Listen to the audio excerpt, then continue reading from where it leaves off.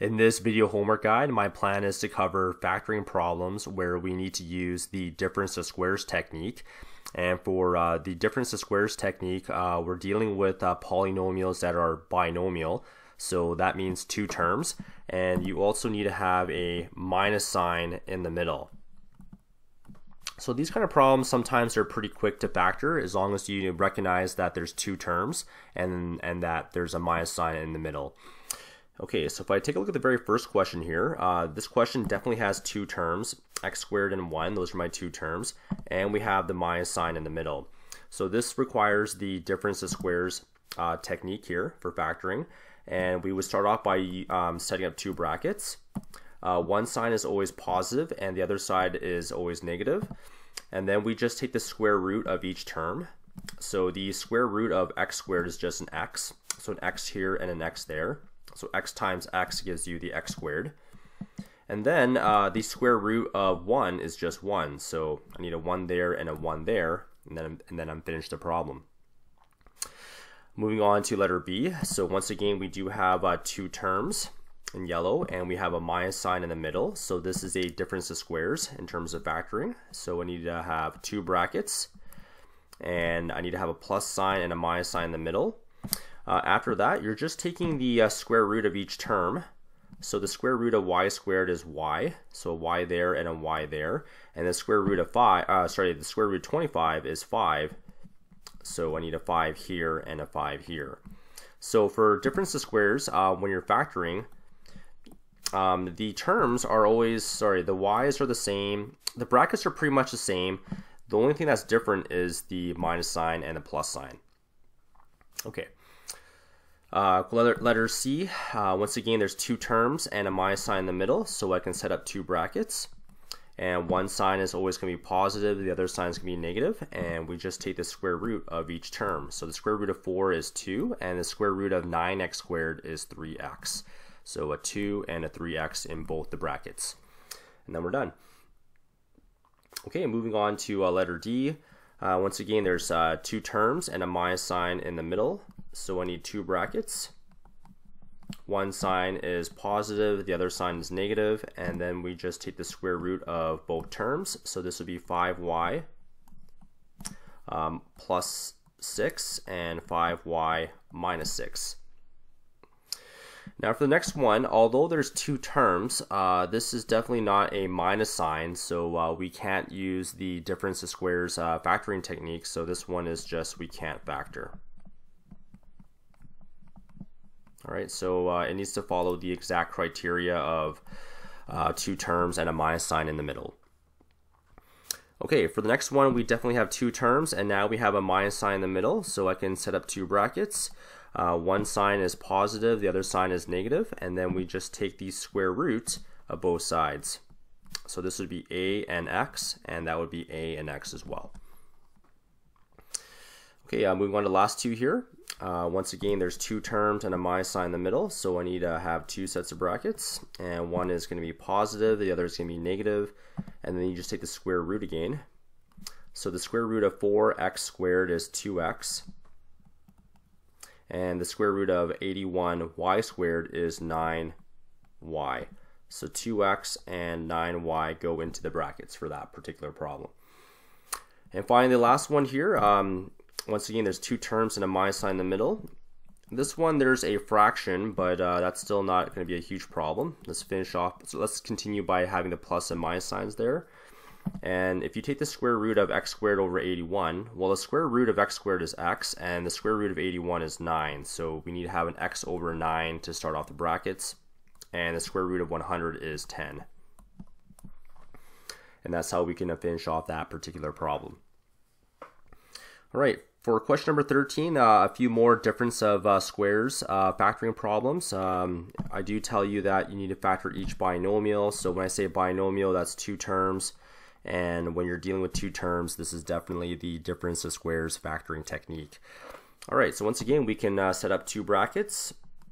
And since there's a minus sign in the middle, uh, we can go ahead and do the plus sign, the minus sign right away. And then we can finish off by taking the square root of each term. So this would be 4 the square root of 16 is 4, and the square root of 25x to the power 4 is 5x squared. And then we have a 4 and a 5x squared as well. Okay, for letter B, um, two terms and there's a minus sign in the middle. So uh, two brackets. I need to have a plus sign and a minus sign in the middle. And then the, uh, the square root of 16x squared y squared would be 4xy. And the square root of 4 is going to be 2. So 4xy and uh, 2, those are the numbers that, those are the expressions that go inside the brackets. Okay, now for the next one, although there's a minus sign here, uh, we need to start off by looking at the 20 and the 5 because we can factor out a greatest common factor. There's no way you can take the square root of 20 and 5, so uh, that's an indicator that you need to uh, use a different technique to get started. And uh, once again, if I look at the 20 and the 5, 5 is my GCF, so I can factor that, factor that part out first. So that means I'm dividing every single term by 5 and that would give me a 4x squared minus, well, 5 divided by 5 is 1, so uh, minus 1y squared or, or just y squared. And then if I take a look at the inside term here in blue, I can definitely factor this one. Uh, this is going to be 5. And um, sorry, the 5 comes down, and now we're using a difference of squares uh, factoring technique because there's two terms and there's a minus sign in the middle. So there's a plus sign and minus sign. And then we just take the square root of each term. So this would be a 2x. And the square root of y squared is just y. So this would be 2x plus y and 2x minus y. And that would be my uh, final answer for that problem. For the next one here, um, we do have a minus sign in the middle, but you'll notice that we can't take the square root of these numbers, so uh, we need to factor out a greatest common factor first.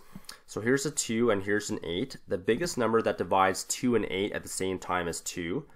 So let's factor out the 2 by dividing each term by 2, and that would give me x squared minus 4. And then if you look inside the middle here, x squared minus 4, we can factor that by using a difference of squares again. So I need a plus sign and a minus sign, and then we just take the square root of each term. That would give me an x and a 2 and an x and a 2 as well. So x plus 2 and, and x minus 2 to complete the factoring. Uh, for letter E, uh, there's a minus sign at the front. So when there's a minus sign in the front of your polynomial, uh, a very good rule is to factor it out. So this, be, this would become x squared, and then this would be minus 16. Remember, that's a plus sign, and if you factor out a minus sign, then we need the opposite sign, which is minus. And then once again, we can factor the, the inside here um, by using a difference of squares. So two brackets, a plus and a minus, and now we can take the square root of each term. So the square root of x squared is x, and the square root of 16 is 4. So x plus 4 and x minus 4. Okay, um, same situation for all these problems now. I guess we've got to look for a, uh, a greatest common factor first because we definitely can't take the square root of those numbers. The biggest number that divides 12 and 75 at the same time is the number 3. So 3 would be my, sorry, th 3 would be my GCF. So let's divide each term by 3. And that would give me uh, 4x squared minus 25. And now we look at look into the inside there and there's two terms again and there's a minus sign in the middle. So let's go ahead and factor this by using a difference of squares technique. So we need to have a plus sign in the middle and a minus sign at the on the other bracket and then we just take the square root of each term. So this would be 2x and that would be 5. This would be 2x and this would be 5 as well. So 2x plus 5, 2x minus 5 to complete the factoring. Okay, uh, we're getting there close to the end here. Uh, for this next particular problem, I would go ahead and rearrange the terms first. So this would be 2y squared minus 98. So just uh, interchange both terms. And then there's a 2 and a 98. We need to factor out a greatest common factor, which is 2 in this case. So we divide each term by 2, and I get y squared minus, uh, 49. And then uh, once again, if I look inside the brackets now, I can factor that by using a difference of squares. So this would be a plus, that would be minus, uh, square root of both sides. So this would be y plus 7 and y minus 7 to finish off. Okay, great. Uh, one last question to go, and then we're done the difference of squares uh, factoring uh, homework problems. Now we have uh, two terms and a minus sign in the middle, so uh, you're probably thinking that we need to set up two brackets, and we need a plus sign and a minus sign in the middle. And then you take the square root of both sides, so this would be x squared, and that would be 1, and this would be x squared minus 1. Now, we need to continue factoring this problem because if I take a look at this binomial here, this is also another difference of squares because there's a minus sign in the middle. So I can factor this one again by putting a plus sign and a minus sign. And this the square root of x squared is x, and the square root of 1 is 1. So x plus 1 and x minus 1. And then this uh, binomial here would just tag, uh, tag along and this right here is your complete factored problem. Okay, so that uh, concludes this video on factoring by using the difference of squares technique.